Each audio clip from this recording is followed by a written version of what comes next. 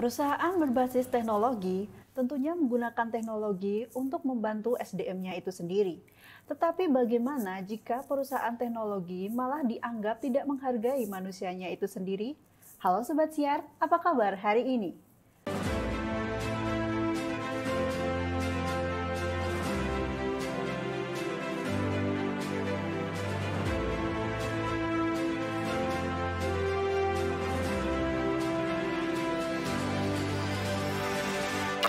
Salah satu startup e-commerce, Shopee, mendadak ramai dibicarakan di sosial media. Salah satunya adalah di Twitter. Kali ini bukan mengenai promo yang heboh dari Shopee, tetapi karena dituding telah membayar kurirnya dengan tarif yang sangat rendah. Terbukti pada hari Minggu, tanggal 11 April, tagar Shopee Tindas Kurir memadati dunia Twitter Indonesia. Tercatat, ada lebih dari 3 ribuan tweet dengan tagar tersebut. Belanja online bukan lagi hal yang baru di Indonesia. Malah, semakin hari belanja online semakin diminati. Persaingan startup e-commerce pun juga demikian. Semakin hari, semakin ramai melakukan promo-promo untuk menarik masyarakat agar berbelanja melalui e-commerce mereka. Pengembangan-pengembangan dari startup terus mereka lakukan. Seperti sekarang, tersedia ekspedisi milik mereka, salah satunya adalah Shopee.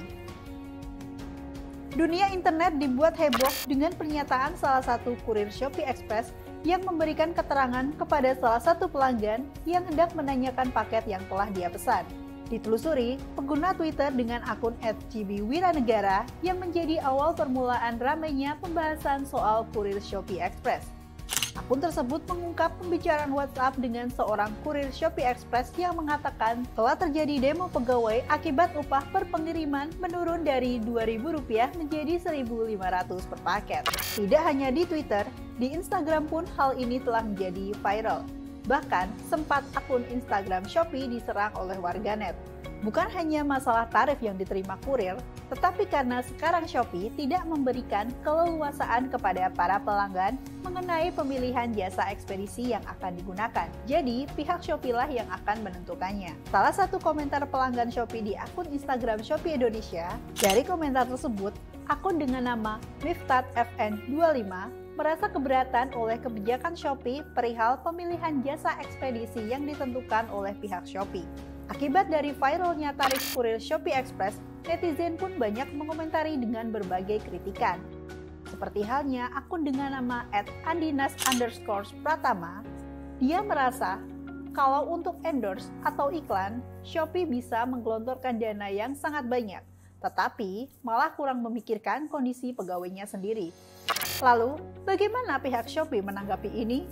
Menanggapi pemotongan upah tersebut, seperti dilansir dalam salah satu situs resmi detik.com, Eksekutif Director Shopee Indonesia Handika Yahya menjelaskan bahwa skema insentif yang ditentukan telah mengikuti tingkat harga yang berlaku di pasar dan dipastikan selalu sesuai dengan peraturan yang berlaku.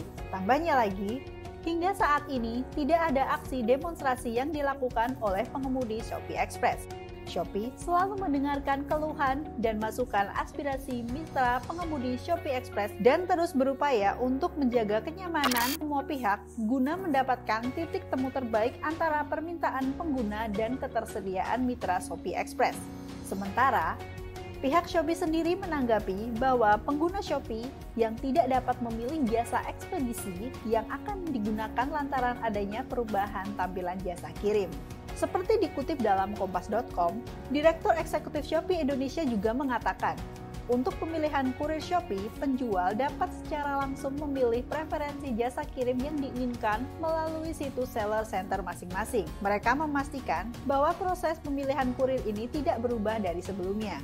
Jelasnya lagi, pada tampilan jasa kirim yang baru di aplikasi Shopee, para pembeli juga masih dapat memilih dan mengubah jasa kirim dengan mengeklik pesanan lalu ubah jasa pengirimnya. Sebenarnya, berapa sih tarif kurir standar di Indonesia? Tetap pantau berita terupdate dari kami dan sampai jumpa kembali.